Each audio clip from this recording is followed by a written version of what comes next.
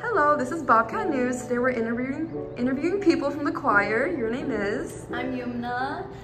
How do you feel about your role in the choir? What do you do?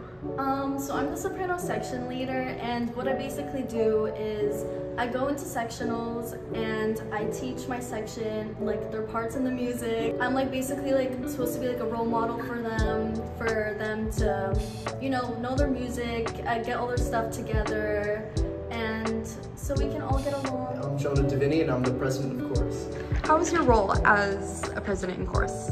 Um, so part of what I do is lead sectionals when we break up into groups. Um, also, we have meetings where we like create plans to do events and things, and I help lead that and um, recruitment and just trying to be, I guess, the role model for chorus. My name is Claudia Hamnes. Claudia, how do you like your role in choir? Um, I like my role because I get to help others and organize fun events and assist in the behind the scenes of all our choir concerts. How do you feel about your role in the choir? How I feel about my role in the choir? Well, my role is the bass section leader. I love being the bass section leader because I love to help out these kids out with anything in their singing and trying to help them even get encouraged into wanting to do more things and learn more. Eva. How do you like your role, Eva, in choir? Um, it's great. I take pictures. I'm historian. Hi, I'm Mia.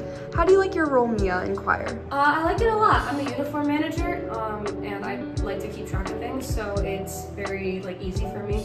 Um, with just a lot of lists and making sure everyone has the right thing.